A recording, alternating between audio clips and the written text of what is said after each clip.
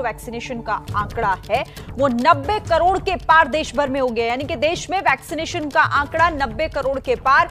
स्वास्थ्य मंत्री मनसुख मांडविया ने ये अहम जानकारी वैक्सीनेशन को लेकर दी है। साथ ही उन्होंने कहा कि शास्त्री जी ने जय जवान, जय किसान का नारा दिया था। अटल जी ने नारे में जय विज्ञान को जोड़ा था। और इसके आगे प्रधानमंत्री नरेंद्र मोदी ने इस नारे में जय अनुसंधान जोड़ा।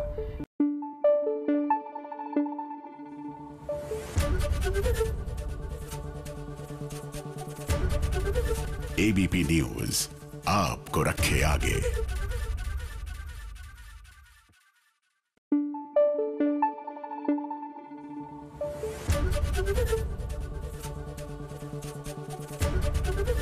एबीपी न्यूज़ आपको रखे आगे।